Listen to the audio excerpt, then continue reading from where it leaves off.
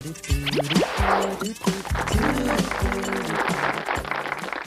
วัสดีครับ สวัสดีค่ะ นี่คือรายการอ่านเอาเรื่องทางช่อง4บางคุณพรหมนะครับ ค่ะ วันนี้นะคะบรรยากาศจะดูแปลกไปกว่าทุกสัปดาห์ที่ผ่านมานะคะอ๋อ เราเข้าสมุดปกติดีไหมคะพี่กันะพูฮะคะไม่ใช่ช่อง4บางคุณพรหมเลยฮะพักเหนื่อยนะคะทำเอาท่านผู้ชมทางบ้านงงเลยสิโมเดิร์นไนทีวีเออปวดนะคะขาใหญ่เลยนะฮะอะแต่จริงๆเนี่ยช่องค่ะ4บางคุณพรหมเนี่ยค่ะก็ก็มีมาตั้งแต่สมัยพศ 2498 แล้วนะ อืมใช่เป็นแล้วโทรทัศน์ช่องแรกของประเทศไทย ค่ะ ของภูมิภาคเอเชียแปซิฟิกโอ้โหด้วยธรรมดาที่ไหน เก่าแก่มากๆใช่ครับมีประวัติมายาวนานมากนะคะ แล้วก็เออวันนี้เนี่ยเรายืนอยู่ที่บริเวณเหมือนกับว่าเป็นจุดจำลองนะคะ ก็จะบอกเล่าเรื่องราวทุกเรื่องราวที่เกี่ยวกับประวัติศาสตร์ของประเทศไทยให้เราได้มาศึกษากันนะคะ ก็เป็นศูนย์เรียนรู้นะฮะท่านค่ะผู้ชม หรือว่าน้องๆทางบ้านอยากจะมาชมก็มาได้นะครับอืมมีค่ะเรื่องราวความรู้ให้ชมเยอะโอ้เราไม่เจอกันตั้งอาทิตย์หนึ่งน้องเก๋คิดถึงคิดถึงเหรอคะแม่เก๋คุณไหมเฉยๆอะค่ะพี่ไม่ฮะค่อยคิดถึงเท่าไหร่คิดถึงคุณผู้ชมมากกว่า ตัดบัวไม่เหลือใยอยู่แล้วเศร้าจังเลยอะแต่เอาไม่เป็นไรยังไงคะอ่าค่ะถึงยังไงก็มาเจอกันแล้วใช่นฮค่ะวันนี้อืมอยากจะถามน้องเก๋ว่าว่า ปกติสมัยเป็นเด็กนะค่ะฮะอุ้ยไม่นานเท่าไหร่ค่ะจะจะจะได้จะทันจะทีเลโถย แม่คุณ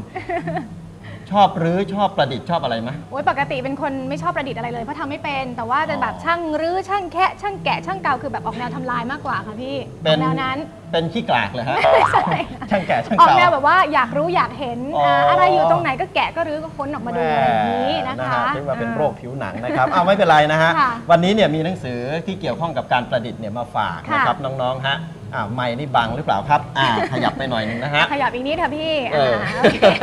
สิ่งประดิษฐ์ของโลกนะครับ ค่ะ ในหนังสือเล่มนี้เนี่ยจะบอกเรื่องราวของสิ่งประดิษฐ์ทั้งหลายที่เกิดขึ้นในโลกนี้ไม่น่าเชื่อมค่ะยกตัวอย่างไหมสักเรื่องหนึ่งดีค่ะดีค่ะ เช่น อยากรู้หลายเรื่องเลย ปากกาเนี่ยค่ะ ปากกาด้ามนี้น้องเก๋ อือหือ ทราบไหมว่าที่มาของปากกาแรกเริ่มเดิมทีมาจากไหน ก็ซื้อจากร้านสะดวกซื้อก็มีค่ะ จะบ้าแล้วมันจะเอามาพูดทำใหม่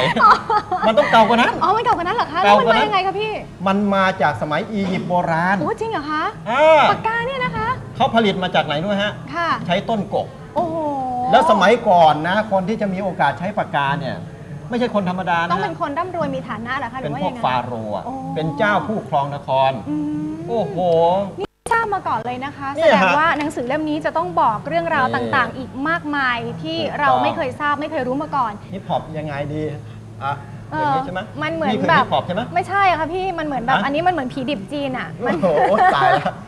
มันเหมือนโอ้ ถ้าไม่ได้ต้องปรับปรุงต้องปรับปรุงนิดนึงอุ้นี่ซ้อมมาตั้งนานแล้วนะซ้อมน้องแล้เก๋วเหรอคะวันหลังเย พี่ฮิปฮอปไม่วันหลังพี่เอ้าเอาแต่แต่หน้าได้ละหน้าหน้าไปได้ละโอเค หน้าเอาเอาไปละไปละทำไมยังไงคะอยู่ๆก็ลุกขึ้นมาเต้นอะไรอย่างนี้ เพราะว่าแขกรับเชิญของเราวันนี้ค่ะเนี่ยนะฮะ เป็นขาแดนซ์อ๋อ แบบชอบเต้นอย่างนี้เลยตลอดเวลา โอ้โหชอบเต้นมากนะครับ อือหือ ทั้งพี่ทั้งน้องเลย อืมมากันเป็นคู่ด้วย ใช่ ค่ะ น้องน้องอะไรนะ น้องมิกกี้กับน้องเบบี้มายด์ Baby Mai เบบี้ไมชื่อก็ทันสมัยเรียกเขาผิดอีก เออจ้ะเออนะฮะ นะคะแล้วน้องสองคนนี้นะครับ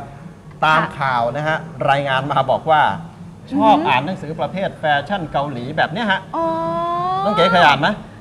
จริง ๆ ก็เคยอ่านเหมือนกันค่ะพี่อ่า ก็มีบ้างนะคะ แต่ว่าเหรอฮะจริง ๆ แล้วเนี่ยเขาบอกว่าจริง ๆ หนังสือบันเทิงผู้ใหญ่หลายคนอาจจะมองว่าอุ้ยไม่มีประโยชน์อย่าไปอ่านเลยไม่ดีอะไรประมาณนั้น แต่ครับว่าในความเป็นจริงแล้วเนี่ยหนังสือบันเทิงพวกนี้มีประโยชน์นะคะ ถูกต้องอย่างแรกคือให้น้องๆเนี่ยผ่อนคลายได้ครับความบันเทิงความสบายใจความรื่นรมเพราะว่าเรียนมาก็เหนื่อยแล้วนะคะ อ่าเปิดมาเจอหน้าแหมดาราเออคนที่เราชื่นชอบบ้างอะไรบ้าง มันก็รู้สึกดีเหมือนกัน ครับ แล้วยิ่งไปกว่านั้นค่ะหนังสือพวกนี้เขาก็จะมีประวัติมีเรื่องราวของคนที่แบบอาจจะเป็นไอดอลของเขา ใช่ ลงบอกว่าเออเส้นทางชีวิตเป็นยังไงกว่าจะประสบความสำเร็จอย่างทุกวันนี้เนี่ยทำยังไงใช่ไหมคะ อืม ก็เลยเป็นแรงบันดาลใจให้กับน้องๆได้ด้วยนี่แหละครับนะคะน้องมิกกี้กับน้องเบบี้มายก็เหมือนกัน ใช่เขาก็มีไอดอลของเขา อือหือออยากจะคล้ายๆ กับว่าอยากจะเป็น